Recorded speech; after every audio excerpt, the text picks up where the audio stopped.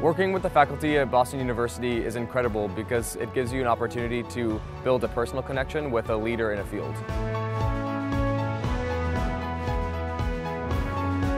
Going to school in the heart of the city is great. Boston is pretty much an extension of our campus.